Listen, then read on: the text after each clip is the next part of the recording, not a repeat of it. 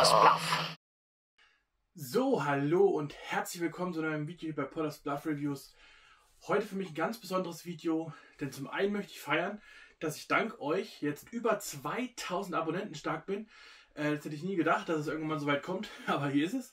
Wir sind über 2000 Abonnenten und es wächst sogar noch. Ähm, ich freue mich wie immer trotzdem noch über jeden einzelnen Abonnenten, über jeden einzelnen Kommentar und es freut mich, dass man hier einfach was bewegen kann, ein bisschen in der Film-Community aktiv ist, sich vernetzen kann. Und ja, ich habe natürlich lange Zeit äh, hier nur äh, Filme vorgestellt, über Filme gesprochen und habe meine quasi angehende Filmkarriere nicht so wirklich mit reingenommen, weil äh, einerseits wollte ich es ein bisschen getrennt halten, weil ähm, es war ja noch ein bisschen im Aufbau und alles und die Filme waren noch nicht spruchreif und ich hatte kein richtiges Outlet. Das hat sich aber jetzt geändert. Wer vielleicht andere Kanäle verfolgt hat, der hat vielleicht Review-Videos gesehen zu meinem Film Lips and Tips, der, letztes, der die letzten zwei Jahre auf Festivaltour war und jetzt endlich auch erhältlich ist auf Blu-ray und auf und bei Amazon. Das kann man, das, das werde ich alles hier unten drunter verlinken, könnt ihr alles unten drunter finden. Es gibt ja auch einen Trailer schon auf meinem äh, Kanal hier zu dem Film, kurzen.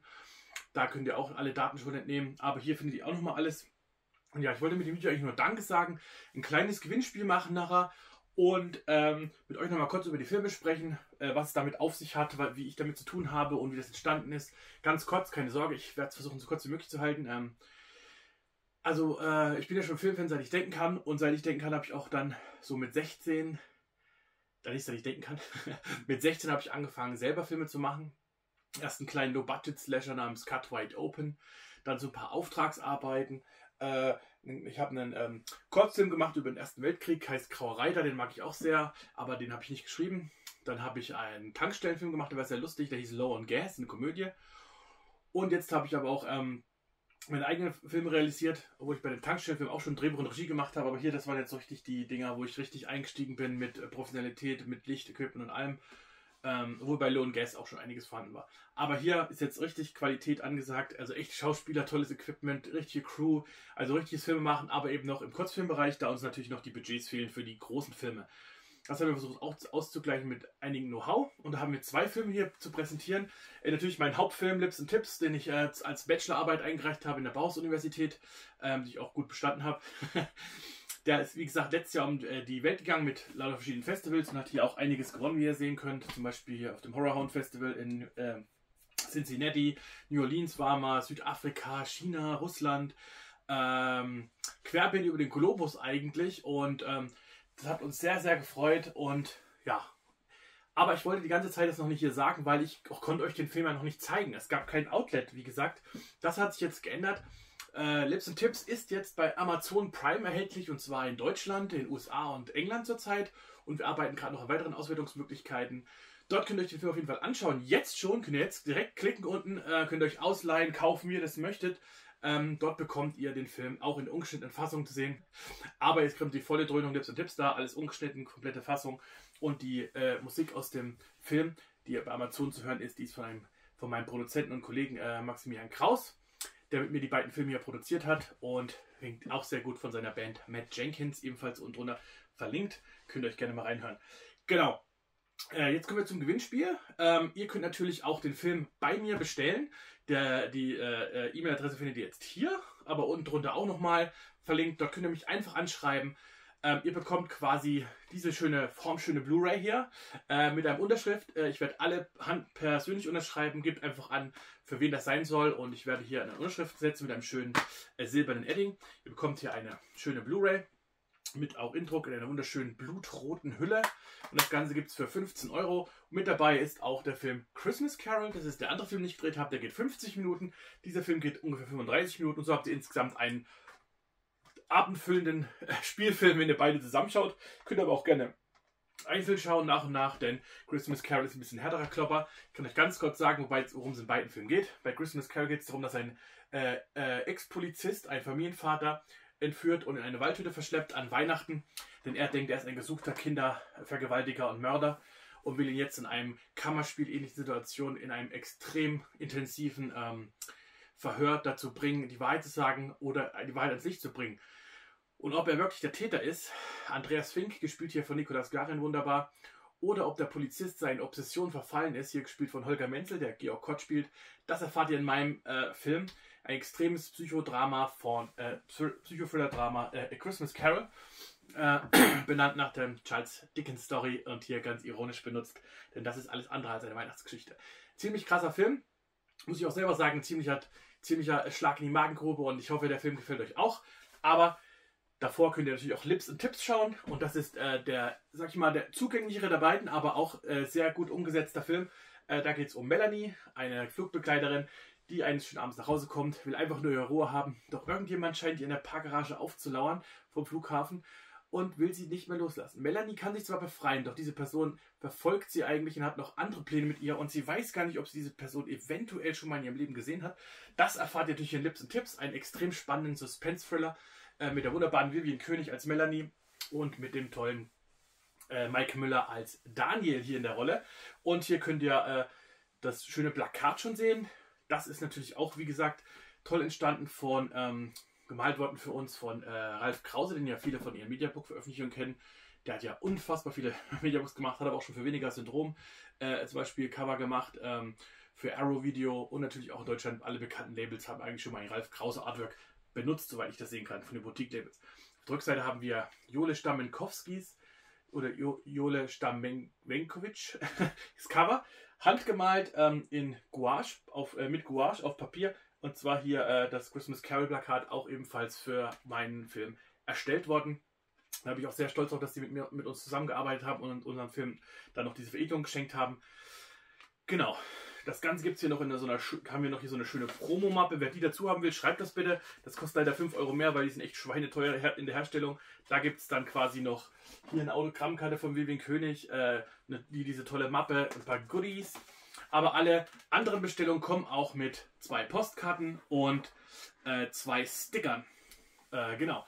Äh, ja, die Filme sind alle 2019 gedreht worden. Christmas Carol im Februar, Lips and Tips im November, Dezember 2019, kurz bevor Covid eingeschlagen hat. Und dann wurden die nachbearbeitet, äh, veröffentlicht und ähm, ging in die Festivalreise. Äh, Christmas Carol hat auch unter anderem auf dem Kangaroo Award in München letztes Jahr gewonnen als bester Spielfilm, auf den ich sehr stolz bin, weil dieser Film ist wirklich nicht so einfach und hat ein echt heftiges Thema.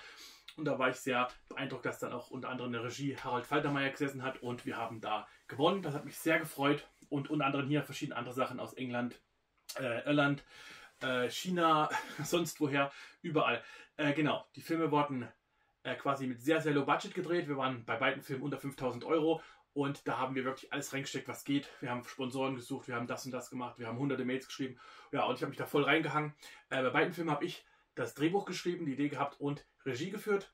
Und äh, Maximilian Kraus, mein Kumpel, hat da äh, produziert und hat ähm, mit mir zusammen den Film produziert hat aber auch die Musik beigesteuert, denn er ist ja hauptsächlich Musiker. Äh, dann unser Kollege Ludwig Bachmann hat Kamera geführt und der wunderbare Jan Peter Frodermann unser schönes Licht gemacht, der eine Legende ist in Weimar, der, glaube ich, bei jedem Kurzfilm da mitgewirkt hat und Langfilm, der in Weimar entstanden ist.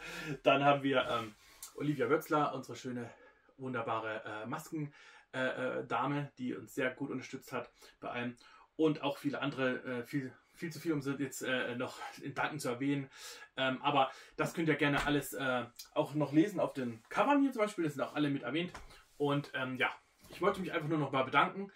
Erstens mal für die 2000 Abonnenten. Zweitens, dass ihr diesen Film so toll unterstützt habt. Und ich möchte mich noch einen riesen Dank an alle YouTuber machen, die für mich ein Review-Video gemacht haben. Ich habe einfach angefragt, habe gefragt, ob es ihnen möglich wäre, das zu machen und ich weiß selber, wie das ist. Ah, ich habe einen Kurzfilm gemacht äh, und dann geht es schon los. Ah, das ist bestimmt das ein Amateurdreck und ich, mich, mich hat das sehr gefreut, dass es allen so gefallen hat. Vor allem, da wir auch wirklich handwerklich und technisch viel reingesteckt haben, damit es eben nicht wirkt wie ein billiger äh, äh, Kurzfilm von der Stange, sondern eben wie ein äh, äh, ähm, ein, ein, ein Langspielfilm eben in Kurzformat. da möchte ich mich nochmal bedanken, wirklich bei Cinemanuel, bei Zimmy, äh, bei, beim Filmflow, äh, Speed Days TV, äh, ähm, Movielu, ähm, ähm, Laser City Lights wird bald noch ein Video veröffentlichen. Äh, ganz großen Dank an, an ihn auch nochmal. Äh, ähm, der Filmflohmarkt oder wie er hieß, glaube ich, der hat auch ein Video gemacht. Ähm, ja, alle, die ein Video gemacht haben, nochmal ein riesen, riesen Dank. Blade Soccer Reviews hat ein ganz tolles Video gemacht, hat mich sehr gefreut. Und ähm, ja, ich hoffe, ich habe jetzt keinen vergessen, aber wenn ich euch vergessen habe, es tut mir wirklich leid. Ich habe mir alle Videos angeguckt und ich war sehr beeindruckt und ja, hat mich sehr gefreut. Es kamen auch einige Bestellungen, Bestellungen durch euch rein und das hat mich nochmal mehr gefreut und dass der Film jetzt so verteilt wird. Wie gesagt, ihr könnt den Film auf Amazon schauen. Da könnt ihr ihn ausleihen, kaufen, wie dem auch sei. Unten sind alle, alle verlinkt. Wer der deutschen Sprache nicht mächtig ist, natürlich auch alles äh, äh, Englisch untertitelt, wer das möchte. Ich weiß noch nicht, ob man das jetzt äh, mitkriegt, wenn man das hier von mir hört, aber das könnt ihr unten in der Beschreibung lesen. Dazu kommt, ich werde bis zum 20. März äh, hier dreimal äh, das Set verlosen. Zwar mit Unterschrift, Stickern und dieser Mappe. Also ihr bekommt das rundum sorglos Paket. Ähm, äh, könnt ihr euch hier eintragen bis zum 20. März. Schreibt einfach unten drunter, äh, dass ihr einen haben wollt oder vielleicht was euch daran am meisten interessiert oder wer ihn vielleicht schon irgendwie gesehen hat. Äh, genau, wer ihn vielleicht auf Amazon gesehen hat und möchte ihn jetzt physisch haben. Äh, den Film gibt es dreimal hier zu gewinnen. Also wir werden drei Namen auslosen bis zum 20. März. Einzige Bedingung ist, ähm, ihr müsst äh, äh, Abonnent meines Kanals sein und einen Kommentar unten lassen, warum ihr diesen Film haben wollt oder einfach nur sagen, hey, hier, ich. Und dann werde ich das am 20. März für euch auslosen, kurz danach. Genau. Dreimal gibt es das hier. Ich werde auf allen persönlich unterschreiben, könnt ihr mich dann ähm, anschreiben und dann mache ich für euch eine Signatur und schicke euch das alles kostenlos zu. Für allen anderen, wie gesagt, ihr könnt ihn auch jetzt schon haben. Für 15 Euro inklusive Versandkosten bekommt ihr beide Filme. Ich werde unterschreiben, ihr kriegt Sticker, Postkarten und so weiter. Wer die Mappe noch dazu möchte mit den ganzen Extra-Goodies noch, noch 5 Euro drauf, das wären dann 20 Euro. Äh, E-Mail ist hier nochmal eingeblendet und äh, ist auch unten drunter nochmal alles verlinkt. Und ich möchte nochmals vielen, vielen Dank sagen an alle, ähm, die uns hier geholfen haben, die uns das, äh, die den Film mit vertrieben haben, an alle Cast- und Crewmitglieder, wirklich jeden, der hier den Film mitbearbeitet, so wirklich eine Mammutarbeit für so, eine, für so einen Preis, den Film, die Filme umzusetzen. Aber irgendwie muss man ja anfangen im Filmgeschäft und ich finde, uns ist da echt ein guter Schlag gelungen und ähm, ich bin sehr stolz auf die beiden Filme, weil ich weiß, wie viel Arbeit und wie viel Herzblut da drin gesteckt hat. Und mich freut es auch, dass es so sehr schön angekommen ist, auch bei den Reviewern hier auf YouTube. Nochmals vielen Dank an alle, die das gemacht haben.